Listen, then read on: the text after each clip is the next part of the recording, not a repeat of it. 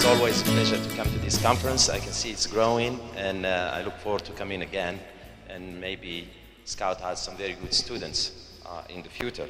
Uh, I'm going to talk about the next generation lithium-ion battery and beyond.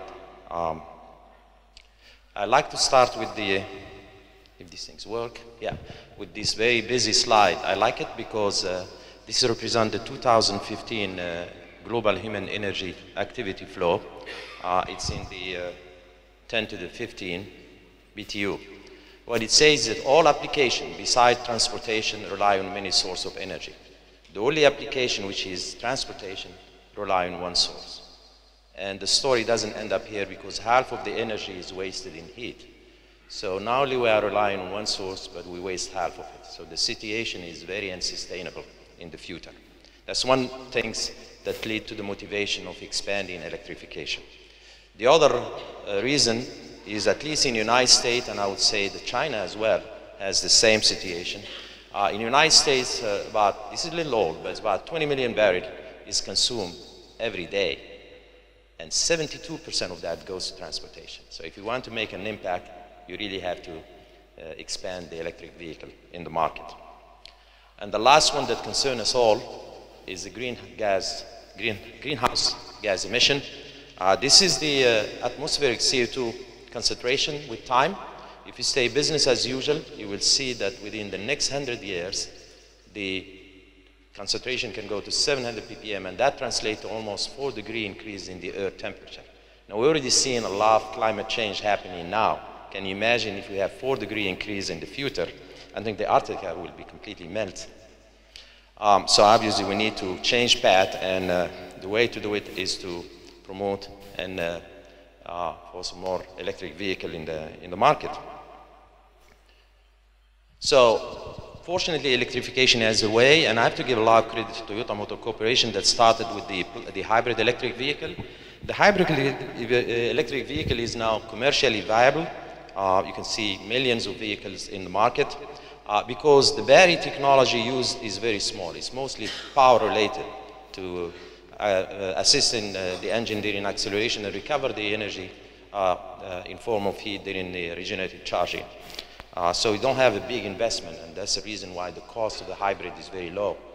The one that the United States focus on is the plug-in. This one has tremendous amount of technology. You still have the internal combustion engine, the electric motor, maybe two or three, depending if you want to all-wheel drive. Uh, you have a, a, a tank uh, transmission, and so on. So, and then you have a large battery. So you can see it's very crowded technology. So the requirement on the energy density is very high, maybe even higher than electric vehicle. And the last one, which is very popular in China, Japan, and Europe, is full electric vehicle, where the battery is the brain of the vehicle. Huh? So there are still, obviously, many barriers why we don't see millions of electric vehicles in the market. The future is bright. We can see the trend.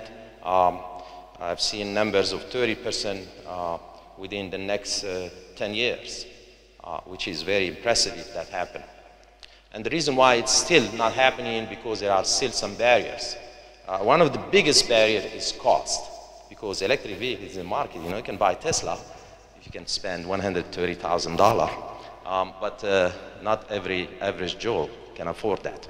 So cost is the key barrier, and I think most of the battery companies will agree with me. Huh?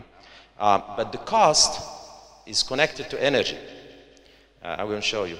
If you have a small battery, conventional system that is a 23 kilowatt hour, 500 pounds and 125 liters, um, and if you really want to reduce the cost, you have to increase the energy of the chemistry inside. Assuming, let's see, you double that, you will end up with the same energy density at the pack level, but the weight and volume drop significantly. And that's how you increase, reduce the cost across the board, active and inactive. Uh, I, I, review a lot of papers, and uh, some of students usually say if you move from cobalt oxide to iron phosphate, you reduce significant cost. Keep in mind that the cathode cost in the pack is less than 10%. So you can remove all the cathode, you don't have a battery, and you reduce only 10%. So keyword, energy is very important.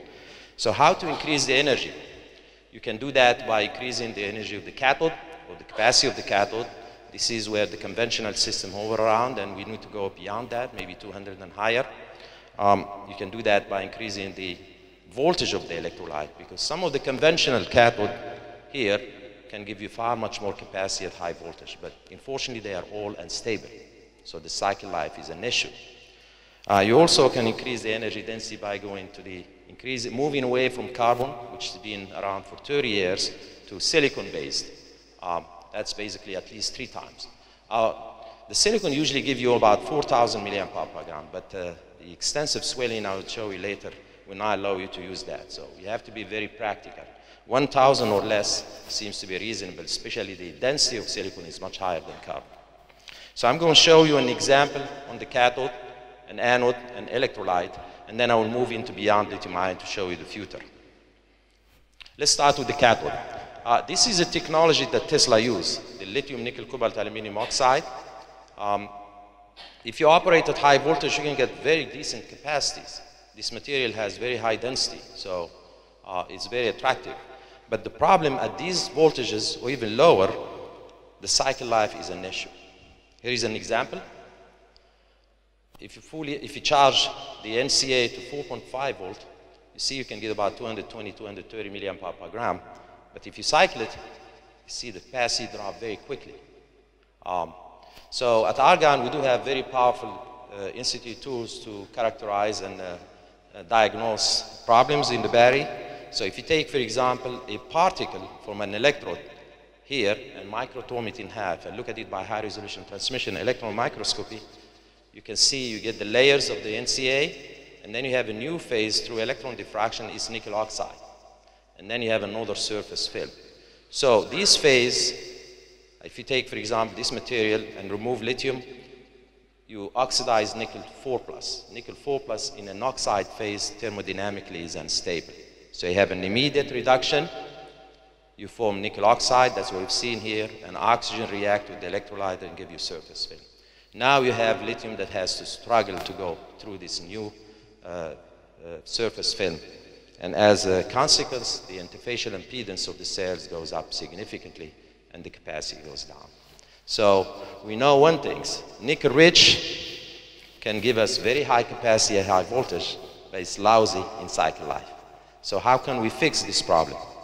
And I think uh, Dr. Mattis mentioned that. We invented a new material called full gradient concentration. The idea here, and this is for the first time ever, a material that has multiple composition uh, to take advantage of the stability of some versus the uh, activity of others. Uh, in this case, we put most of the nickel that give us high energy in the bulk.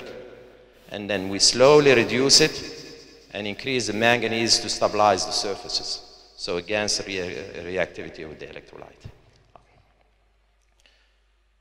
And, this is a, an, an, EPMA that shows um, the intensity of the nickel is very strong in the bulk and getting weaker. The manganese is weaker, getting stronger. The cobalt is the same across the particle. This material shows very high density as well, even though we're, no, we're not using 80% nickel in this case. Now how to, the next step is can we scale it up? Because you can make fancy material, but you can't scale them that are useless. Huh? So in the, in the industry, the NMC that Argonne invented used this process here without this tank too. Basically, you take a, a, a sulfate-based nickel manganese cobalt, you sand it, you have a co-precipitating agent and chelating agent, and then you co-precipitate the particle. Uh, this technology is mass scale in hundreds of thousands of tons. With this new material, what you do is just add one more tank. That's it. That's your investment. This tank will have a nickel rich, and this tank will have a manganese rich. You sand nickel and immediately start deleting nickel with manganese and sand both. So you have change in the concentration uh, with time. So here is an example that shows the, uh, the practical material that is used by the industry now for automotive. The 622, that's a nickel manganese cobalt 622 morphology and the new material. Um, you can see they are both made by co-precipitation. They have spherical particles. The difference is in the primary particle. So to show you the, the morphology of the material can impact performance significantly. Uh, the primary particles are basically small particles, round, where the lithium has to go to the grain, uh, grain, uh, grain boundaries. In this case is a rod structure. So you have the, the center here, the surface is here. And it's a gradient, so the composition is changing within that primary particle as well. And the most important thing is if you do a TM, transmission electron microscopy, you can see that the layers of the material are parallel to the rod, which means lithium will zoom very fast out of this material. This is very important. Now, if you cycle these two materials at the same potential, we'll very likely have more lithium moving here, more lithium moving here than here, which means you have more capacity with this material at the same potential. And here is an example that shows exactly what I say. This is the same condition for testing. This is the commercial one that is used in electric vehicle. Now you get about 178 milliamp per gram at around 4.2 volt or 4.3 volt. You get more than 220 with the other material. I forgot to add one thing. Because of the rod structure, it's very packed. The density is much higher. That's energy. A lot of people neglect that, you know. They will make nanomaterial with very high capacity, but it's useless because you can't pack much more active in the electron.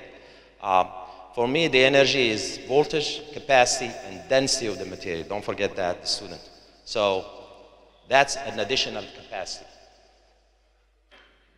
So because of the gradient concentration to prevent the reactivity, uh, with the electrolyte, we can get a 1,000 cycle uh, and get still 80%. That's the requirement for electric vehicle, 1,000 cycle at 1C rate, uh, and you still get uh, more than 80% uh, of your capacity, both at high temperature and room temperature. How about the safety? So I'm going to see if this video works. The, the, the, the cell here is basically an NCA that is used by Tesla. You basically charge it 100% and then you nail it to create a short and you look at the uh, response of the cell. Because of the nickel concentration high, we talk about it when you have more than 80%, you create tremendous amount of oxygen release that cause significant uh, exothermic reaction with the electrolyte, and that's what you get. Now with the other material, because we are minimizing the nickel at the surface, or across the particle if you want.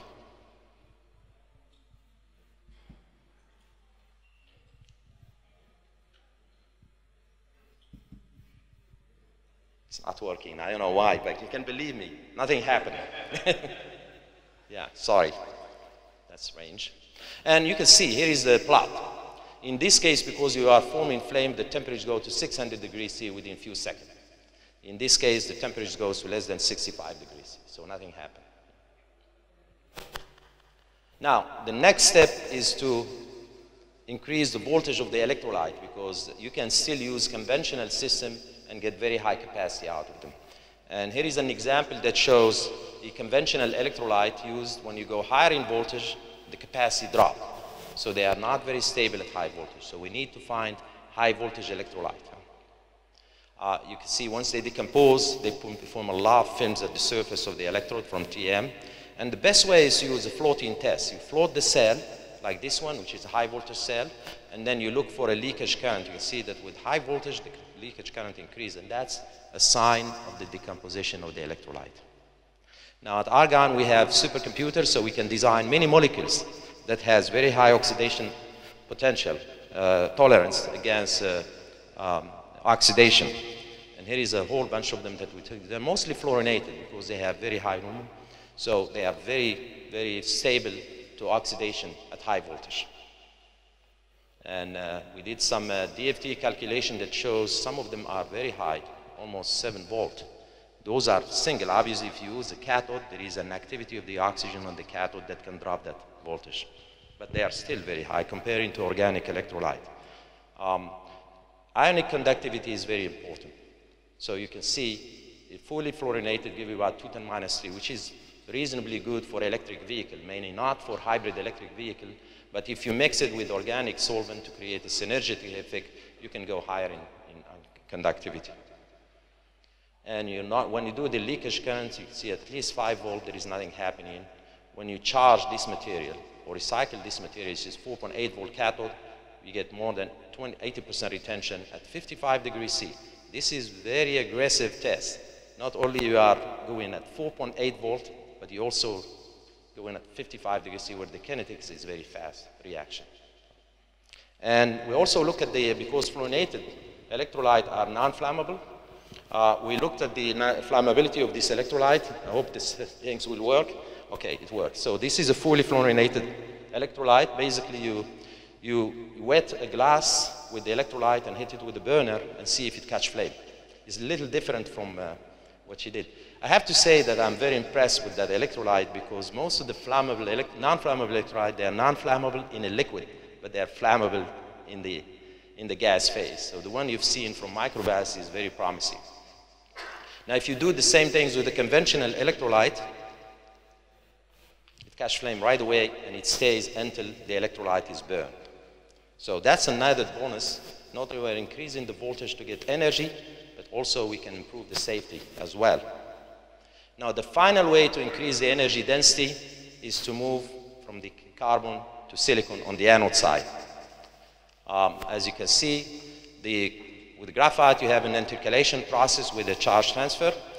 Uh, if you move to silicon, now you're creating a conversion reaction. You have an alloying process that takes place. Uh, you have a whole bunch of them. Silicon is attractive because it's cheap, but also it gives you the highest volumetric and gravimetric energy density It's almost 10 times carbon. Now, obviously, it is very difficult to use all this capacity because there is no way to match that much capacity with a cathode that is 200 milliampere per gram. So one has to be very practical. We're targeting about 1,000, which is still a lot. So a lot, the, the problem with silicon is the expansion, as you can see here. It's almost 400%. So when you have a particle that expands that much, within few cycles will crack and you get isolation. So, and that can lead to capacity fade. Um, basically like this. You, know. you, break down the particle. I have actually a video that shows how you can see it uh, with using AFM. Let's see if it works. So this is a, an AFM where you have an electrode that is cycled and one that is a reference. So you can see if there is any cracking or not. Let's hope it works.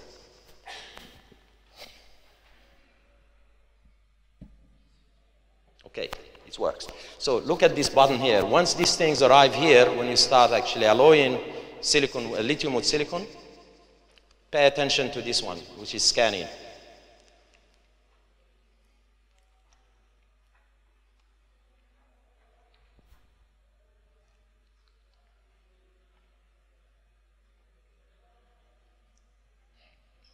Now you can see the cracking start happening during the first cycle. So with repeated cycling, you create isolation, and then therefore those particles that is isolated, they are now more active. Okay, so tremendous amount of work has been done by incorporating silicon in carbon matrix, either in nanotubes or yolk shell, a whole bunch of things. The only things that these have in common, they are not scalable. Otherwise, you will see the industry using it. So I'm going to show you a very scalable process that very likely will be applied soon. Um, the idea here is to use this uh, trichlorosilane. It's very dangerous gas. It's, it's used by the, uh, the wafer, silicon wafer companies. So it's high purity, they make tons of it, and then they tow it to make a wafer, and then you have all the contaminated gas get rejected. So they have to spend a lot of money to get rid of it because it's very dangerous. So you take that byproduct, and then you put it in a reactor, you put graphene, dissolve the graphene, which has layers, and then you reduce it because gas go everywhere. So it will go inside, and once you reduce, you get silicon particles which are in a nanophase, about 80. First of all, nanophase particle will not crack immediately. It will take a long time to crack. And once they crack, these graphene sheet will collapse on them and keep conductivity. So there is no isolation. Here is an example that shows without and with. Uh, the efficiency is not so bad, almost 86%. We developed, but I don't have time to show it, a new process of pre-lithiation, and I think few companies have licensed it as well. And it cycles very well depending on the concentration of silicon you put in. What I've shown you, these are technologies that has been licensed and will be put in the market very soon. So if you take all, the, and here is, a, here is an example of the so basically, the silicon wafer has these reactors full of this gas. So you throw in graphene sheet, 40 degrees C, and you get your material. So you hit two birds with one stone. You get rid of that dangerous gas, and you make a useful material out of it. Hmm? Uh, okay, so if you take this technology that I show you, you will be around here. If you add the pre-lithiation, it will be lower than the target set by the Department of Energy, cost-wise. But if you look around here, the best material or technology is a closed lithium air system. If we can get this one, now we are way below and the cost will drop significantly. So I'm going to show you the new system we developed recently. How much time I have? Should I stop here or should I, 10 minutes? Okay, thank you. So now I'm going to move into beyond lithium ion to show you this closed system. Uh, if you have a lithium ion, basically you have an intercalation process. Lithium will move from the cathode to the anode and back.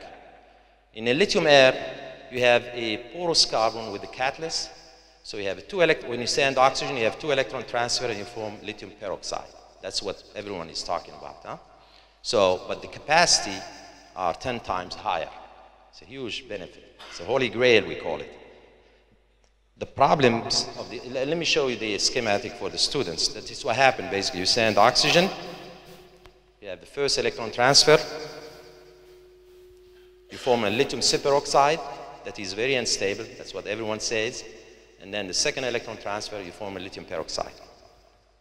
Very simple. So, and in a discharge, you basically dissociate the bond, which are very difficult because the lithium peroxide is very resistant. So it's a very big challenge.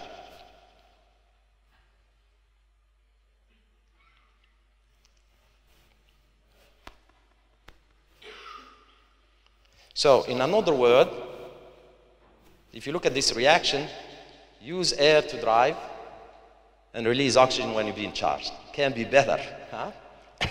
so, but this, this system has tremendous uh, problems, huge problems.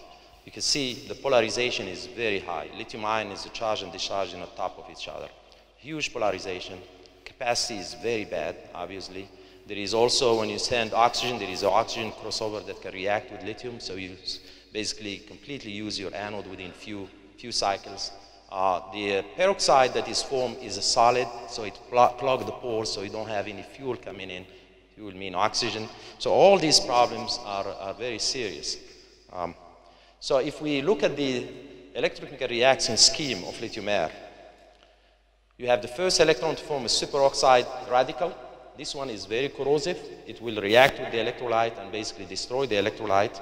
If you have a good electrolyte, then the superoxide radical will react with lithium to form a lithium superoxide that everyone in the world, everyone in the world said is not stable. I agree, if you use amorphous one, it is not stable. But uh, if you have a second electron transfer, you can form a peroxide, or because of the instability of this system here, you, you can, through the disproportionation, you form a peroxide. Now imagine, if you can stabilize this one and go this route, we have a closed system. We don't have any oxygen. So because in the lithium air, you still have to use oxygen, and oxygen can reduce significantly your energy density. You have a tank of oxygen. Same thing with the fuel cell. The only thing fuel cell has far more energy than uh, batteries. Now I'm going to show you that we were able to stabilize this in a crystalline phase and open up a huge opportunity for the new system that can give us tremendous energy density. We started by putting uh, a, a, catalyst, which is iridium. It's very expensive. We are moving from iridium now but uh, we figured out a way to put a very nano phase, basically clusters of iridium which are less than few nanometers, one nanometer or so. And when we tested this material, we find out that polarization dropped significantly. Um, at the moment, we are almost at the theoretical value, which is about 3.1 volt of charge. Um, but it cycled very well. Um, the only thing is eventually you can't prevent oxygen crossover. You need a membrane uh, that's the reason why it dropped. So when you change the lithium, you get more cyclability out of this system. So that creates a lot of curiosity. So we decide to know what is happening morphology-wise of this material. If you use a peroxide, you get more of like a donut type shape. It's very known. Everyone, if you go and look at lithium air, that's what you see. But in our case, we've seen a totally different morphology. It's more like a, a small needles, very nano phase. That cre creates a new system. We don't have a peroxide that we thought and we applied tremendous amount of uh, diagnostic using in situ tool at the APS because a hard X-ray can give you an X-ray within one minute. And you can see clearly that initially we don't have any peroxide, but we form a superoxide. And since you can see it, it means it's crystalline. So we now have a crystalline phase that seems to be stable because we can age it for seven days and still see it. And we did some Raman that shows clearly signals of superoxide as well. The best way to confirm that is through DEMS, differential electron mass because you can measure the electron transfer. And you can see we have only one electron, not two. Two electron will give you lithium peroxide, one electron will give you lithium superoxide. So now clearly confirm that we have a, a new phase that is very stable. Now we need to understand why it's stable. And one way of doing it is the, we looked at the structure of the catalyst. Initially we have iridium through TM and electron microscopy. Lithium react with the iridium. So we have iridium-3 lithium. And if you look at the structure of this phase, it's almost isostructural with the crystalline superoxide. So basically, the superoxide will be capped on this catalyst. And we've seen it uh, through TM that most of the superoxide are nearby the catalyst. So that's uh, the reason why we stabilize this system. And my colleague uh, Larry has done some DFT calculation which he proved actually you have no barrier when you have a amorphous superoxide, but when you have a crystalline, the barrier is very high, which means it's very stable. And he also looked at the what you call DFT density of state that shows that it's conductive. Keyword, conductive mean easy to dissociate so you can get very light, nice cyclability uh, versus large band bulk Li22, which is very resistant. It's very difficult to break down those bonds. That's why you don't have any cyclability. Huh? So based, on this, we develop a system. Uh, let me just put this. So you can see, if you have this, you get that much energy. If you add another electron transfer, you get that much. And if you have three electron transfer, you get huge capacity. We're talking about 300 watt hour per kilogram. This is 3,500 watt hour per kilogram. It's more than 10 times. If you can make this, now we're talking about maybe $20 or so a kilowatt hour. Hmm? So I'll show you a demo of this system. We were able to put some cobalt, which is not the best catalyst, and we were able to cycle this material for 200. And through Raman, you can see we move from the superoxide to the peroxide and back. So there is a demo that is shown, and we're working now on a different catalyst that can increase. Most of the capacity of cathodes is around here. We get 600. Our target is get about 1,800. That's the target to get uh, uh, where we want to get on energy density. With that, I will conclude.